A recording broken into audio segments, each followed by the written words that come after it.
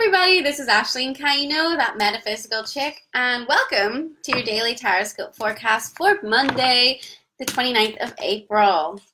Happy Monday! It's going to be a good week. I can feel it.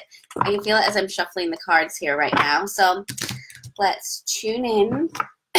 Excuse me, I'm getting over a cold still and see what the energy is for the collective for today. And I feel like on the Mondays, it's not just the energy for the Monday, it sort of gives us an insight into the whole week as well. So, hey, we've got the love going on already here.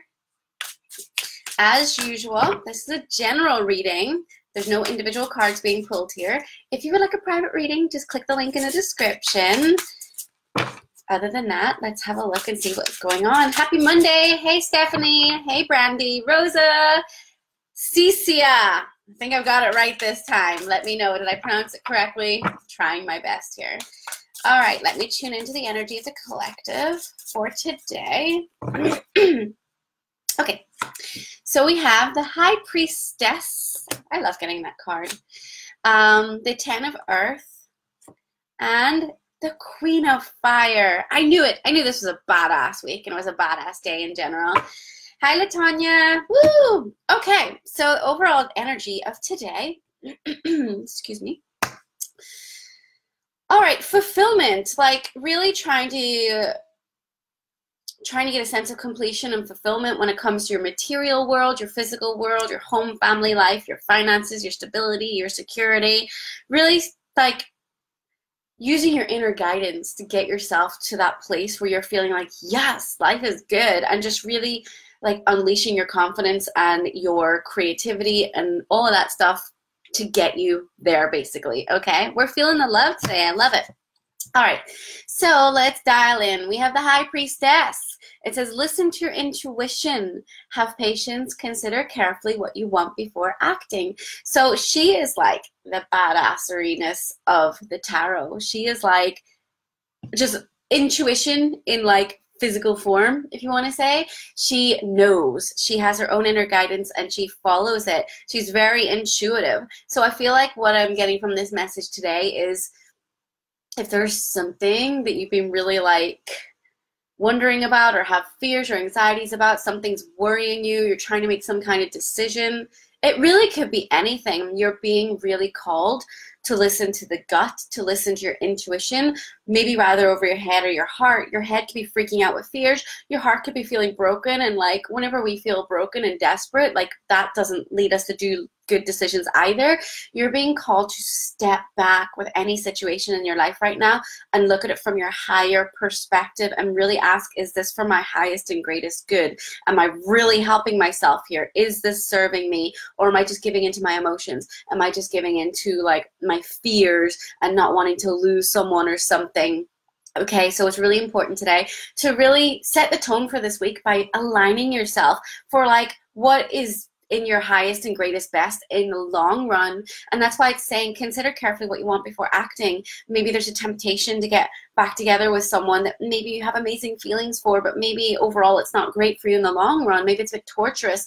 Maybe um, it could be something to do with a work situation, your health, whatever it is, you're being called to just really think before you act because we get pulled to act sometimes very impulsively due to our emotions or due to like our thoughts. They might be going really fast and we just kind of go, oh, F it, and we jump in and we could end up like hurting ourselves. So saying today, like seriously, just listen to your intuition, have a little bit more patience, slow down.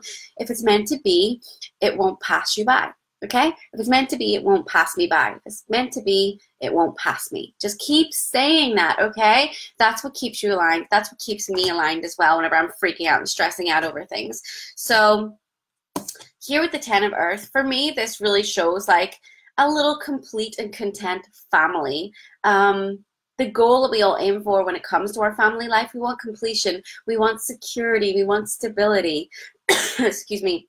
We want to feel like, oh, yes, I've done it, I've attained it. So there's this feeling here of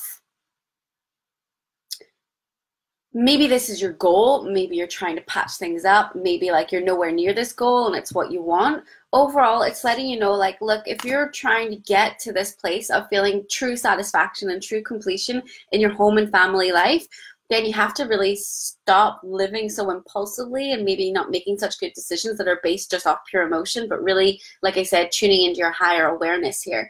Maybe there's someone not so good for you, you just keep going back to, and it's never going to lead to this ultimate fulfillment in the stability and security that you want. Just for an example, right?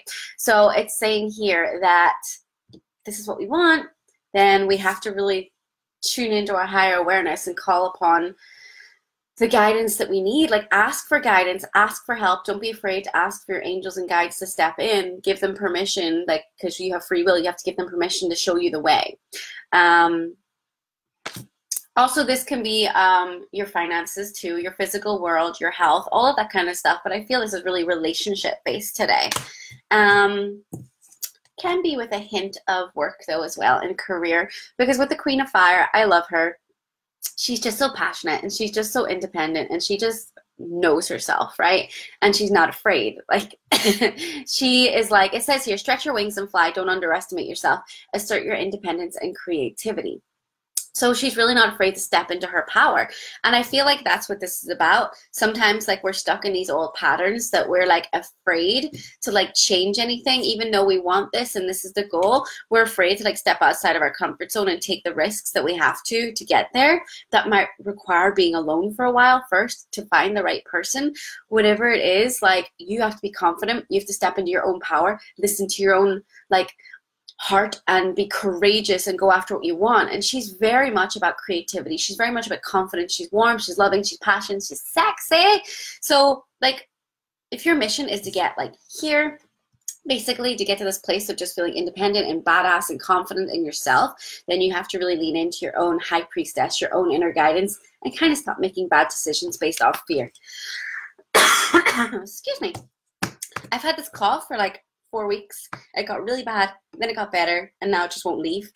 Um, okay. Let me see.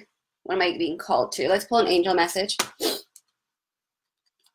So I think the overall message from all of this is like to unleash your creativity, to unleash loads of passion in your life and really feel fulfilled ultimately it's really listening to your inner guidance even doing a lot of meditation calling upon your guides doing what you can to lean into your spirituality and allow that to really guide you the right direction. Excuse me. Base chakra Choose only positive thoughts to describe your home, career, and finances as your words determine your outcome. So I really feel this sense of stability and security. That's what the Ten of Earth is about. Your finances, setting up a secure family life. It really comes down to getting your thoughts in the right place, getting them balanced. So no more bad affirmations. No more, sorry, no more no more feeling like you can't have the love of your life or this is my pattern. It's just really realigning yourself and knowing your worth and steering away from what no longer serves you. The old patterns that you keep falling back into, it's steering away from them. Um, let me see. Anything else? I think that's it. I'm not being called for any more cards, you guys. So pretty basic message.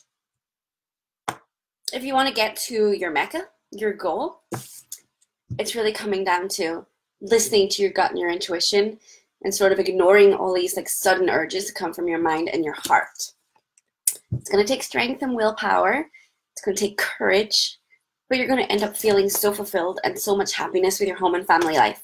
So only positive affirmations positive thoughts moving forward. Yay! Okay, guys, I hope you enjoyed today's reading, and I look forward to bringing your reading tomorrow.